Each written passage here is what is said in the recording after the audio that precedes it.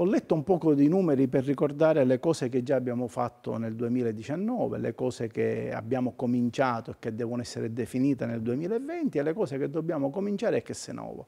Parliamo di dati oggettivi, così non possiamo essere smentiti. Questo assessorato nel 2019 ha finanziato 1.289 imprese e ha speso quasi 150 milioni di euro e nel 2020 si impegna a finanziare non meno di 1.000 imprese sono dati che permettono di alimentare un'economia nuova, progetti nativi, un'economia virtuosa che crea posti di lavoro.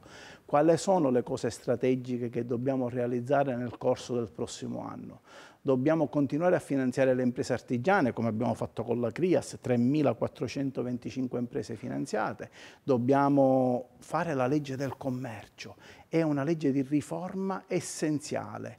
Nel 1999 è stata fatta l'ultima legge. Quando si faceva questa legge, nel mondo nasceva un colosso dell'e-commerce, Alibaba, e noi ancora andavamo dietro la carta bollata e la raccomandata con ricevuta di ritorno. Quindi la legge del commercio, continuare a spendere fondi comunitari, fare partire distretti produttivi e continuare a finanziare le imprese artigiane.